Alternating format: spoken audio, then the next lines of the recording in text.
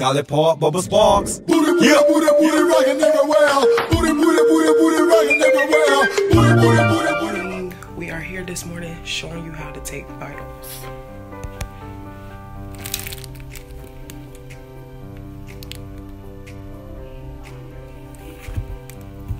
This is how you release it. What's up YouTube, it's Desi and I'm back with another video y'all. So in this video I'm going to talk about two main certified medical assistant tests. Um, it's going to be the NHA and it's going to be the NCCT. So this was my score for the NCCT test. This was two years ago you guys, two years ago, 2018. This is the my score at the time and this is the past score and this is going to be the range that they show you guys. So that's how that pretty much looks. And then you're going to get a printout just to kind of show you as far as for the percentage and everything like that. That's how everything looks for that. And um, just to kind of give you guys an idea as far as for how everything will look when you're done taking that test. I did have a request as far as for in the comments to see which one was better as far as for taking. Um, before I get into the video, I do want to announce I had my experience with taking the NCCT test for Certified Medical Assistant. I did not have my experience with taking NHA test.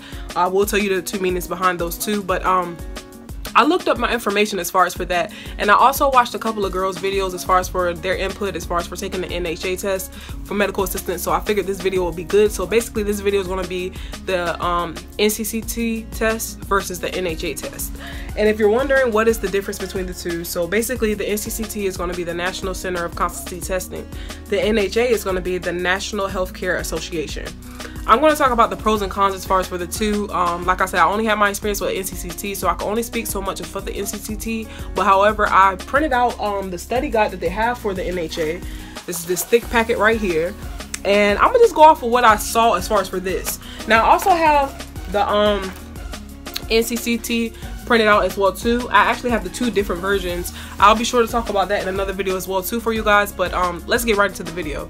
So as far as for the NCCT, I'm gonna talk about the pros and cons as far as for that that I like um, because I pretty much know of the NCCT and I'll go ahead and start talking about the um, National Healthcare um, Career Association one.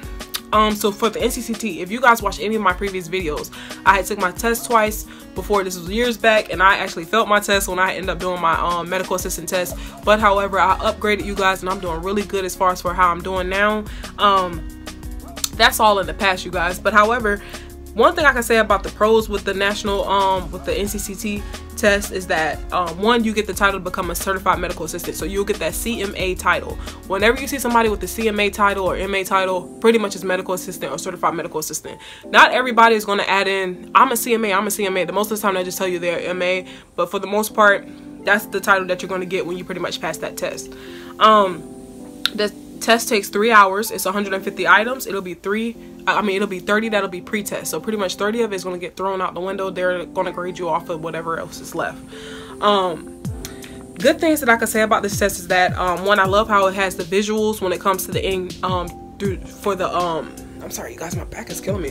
Um, I love how it shows the visuals when it comes to the uh, EKG test. Um, and the reason why I say that is because a lot of people when you're looking at the different formats for their tests, they do not have visuals when it comes to the um, EKG. Most of the time, some people may have it where they can actually select which rhythm goes with this or something like that. But one thing I can like about the EKG on the um, NCCT test is that the EKG rhythms are pretty hard at, you know, um, determining and whatnot. It depends on what kind of graph you may get. But however, I prefer it to be visual than it to be written out or anything like that. I do appreciate that with that test. So um, that could be definitely one thing I can say about that too. Now, most people may not see that as a big of a deal, but me personally, I see it as a big of a deal because if it's hard for me to understand it, then that can be a problem.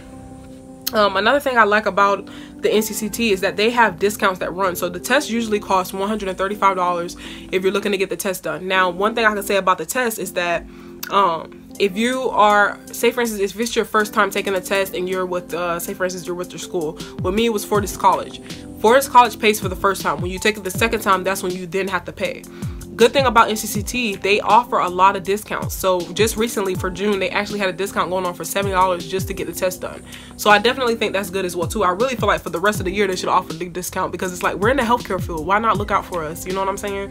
But, um, hey, you know, at the end of the day, those are good things I can say about the test. Now, going off of the bad things, there is no calculator for the test. Whenever you're on the math section, as far as for um, the NCCT, there is no calculator. You have to make sure that you know these formulas. You have to make sure you know the equations. You have to know how to convert uh, Fahrenheit to Celsius, Celsius to Fahrenheit, convert pounds to kilograms, kilograms to pounds. You have to make sure that you know all that stuff. So there will not be a calculator on the test. You want to make sure that you have all that stuff down packed. Another thing too is um is different versions of the test. So whenever you retake the test, is of course it's going to be a different version, but I just feel like that sucks because it's like, come on now, like my mind's already focused on the one I took the first time. So if I'm gonna retake it, I'm hoping to, to be the same. But that's pretty self-explanatory. You will have different versions of the test. So whenever you fail the test and you retake it, it will be a different version. Some of the questions I can kind of tell that I remember from, but it'll be like a different set of hand of questions that can kind of like throw you off, but yet it's still kind of asking the same exact thing. So you want to make sure you pay attention to it. But right off the bat, when I first failed my test, y'all, I was like trying to make sure I remember which questions. Like every time I get done taking a test, I always go back through the first question and just try to go all the way through the end just to see what looks familiar, what can I remember. It's certain ones I know I got right, certain ones I know I'm not too sure on, but just in case if I'm not too sure on it, let me remember which one this was. Like try to remember those type of things. And another thing I did not like about the NCCT, when I first tried taking the test, when I first took the test for NCCT, it was nothing but administrative questions. That literally threw me off. Like I was like, come on, like we learned all this clinical stuff and you mean to tell me this is straight administrative stuff? Like that literally threw me off. So I didn't too much like that about the NCCT. But that's a whole nother story. So now let's talk about the NHA. That's pretty much the National Healthcare, I'm sorry, why I keep saying healthcare? National Health Career um, Association. All right, so for the pros, remember I did not take a test with this. I just go off of what I saw as far as for the um, study guide. Now, a couple of the pros as far as for this one, I would definitely say you could tell this one focused majority on clinical. And I actually like that. It focused majority on clinical. And you could tell that. And the reason why I say that is because um, after looking at the format, I could just kind of tell like, man, this is not, it's, it's some partially administrative, but it's not as much. If you're talking percentages, I would say 75% clinical, 25% administrative. And that's how it should be because it's like medical assistants, we do a lot of like administrative work, but the majority is like clinical. Like we're literally like helping people out. We have to help assist the nurse. We have to help assist the doctor. Like it's you know what I'm saying? And stuff like that. And you do have parts where you do the front desk, but I hate how they're trying to like make these medical assistant tests focus so much on front office work. And it's like we're literally not just doing front office work. Like stop putting so much front office into the test. Start adding more clinical because at the end of the day, we're in the back office half of the time. Um, another thing that I like about it is that you get the CCMA title. CCMA is going to be Clinical Certified Medical Assistant. So I like that as well too, and that's what brings me to why the test is so full of clinical because that's pretty much the um, the title that you're going to end up getting when you pass the test. And as soon as you get done with the test, it's going to um, be three hours, 150 items, 30 pre-tests, which is going to be 30 that they throw out. Um, I'm pretty sure once you're done taking this test, it grades you right afterwards, just like the NCCT. As soon as you press submit, it's to tell you right then and there whether you passed or failed. Now, some of the cons as far as for the NHA that I can kind of already tell I don't like right off the bat to take this test it's $155 i was just like what the heck? Like this this test costs a lot. But at the same time like i say if your school is signed up with the NHA you pretty much have your first try free and i'm pretty sure the second try you may have to pay. One thing i like about fortis college they were already tied in with ncct so with it being affordable as well too i kind of liked that. But 155 for a test please. After printing out the study guide you guys they do not tell you how many questions you have on the category. What i mean by that so if you guys take a look at the NCCT, the NCCT tells you how many questions you have on the category pharmacology. 13 questions. They tell you how many questions you have on medical procedures. Okay? And on this one, it's just straight words. It's literally straight words. It's not going to tell you how many questions you have in phlebotomy, how many questions you have with law and ethics. It doesn't show all that. And I feel like if you have a study guide that's this thick, you should definitely have how many questions it should be in that category because at the end of the day a lot of people may need to know like as far as for me i don't know how everybody else works but say for instance I don't want to put all my focus into phlebotomy and you have like five questions on the test for phlebotomy. You get what I'm saying? So it's like I feel like everybody should kind of know an idea of how many questions should be on that test just to see if that's like a major category they should be studying and you know that's kind of how that goes. So the NCCT definitely got a raise on that one. The NHA need to improve.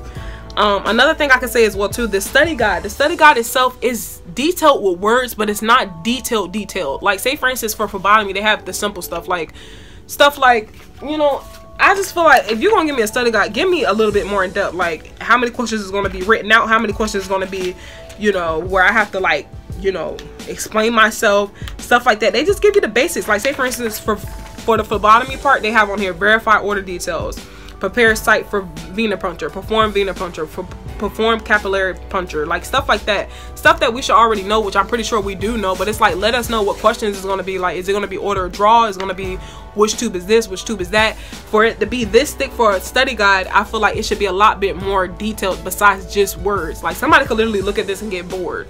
So you want to make sure that you guys pay attention to that if you're looking to um take the na NHA. But these are the two differences as far as for these two, you guys. Hopefully, if you end up taking them, hopefully good luck to you. If you guys are looking for um, more people insight as far as for the NHA, because I didn't really too much go in depth, because again, I never took that test, and I'm probably not going to. I'm going to just, you know, root for NCCT. I want people to take the NCCT. Um, but however, for the NHA, if you're looking for more experience for that, do type in NHA experience for medical assistant test and you will see a whole list of girls that pop up. And they'll tell you guys the experience as far as for how they were able to take their test. So hopefully this video helped you guys out. Hopefully everybody stays safe. Peace, y'all.